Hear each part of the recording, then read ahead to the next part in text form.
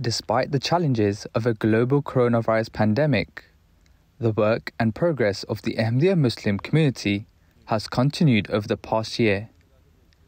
Khuddamul Ahmadiyya UK is no different in finding new avenues by which to advance the mission of the promised Messiah salam.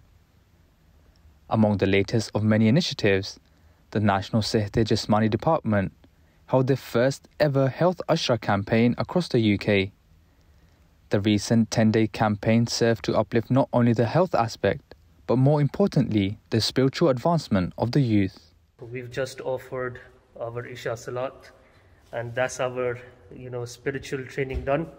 And now uh, to physical training, inshallah, we're getting ready uh, to go for 5k jog, inshallah, shortly. Khuddam gathered at mosques to offer their prayers and then set out for a physical exercise. Part of the Health Ashra also included educational talks, weekly warzish, health assessment, and much more. Today's session is the second weekly warzish on uh, Wellbeing Wednesday.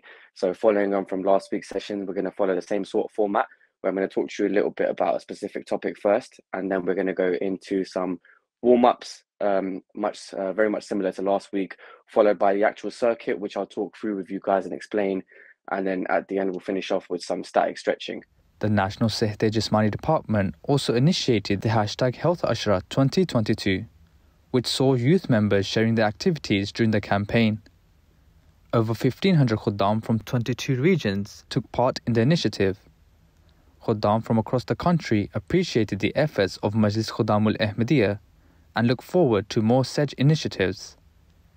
This is Nosherwan Rashid reporting on behalf of Majlis Khuddamul Ahmadiyya UK.